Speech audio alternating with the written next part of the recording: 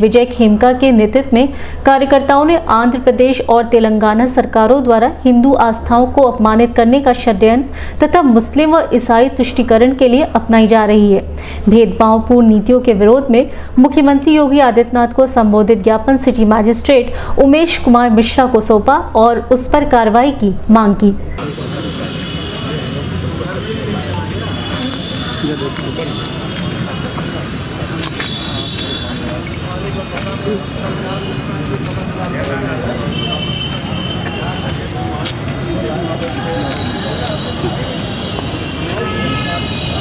बता दीजिए किस संदर्भ में दे रहा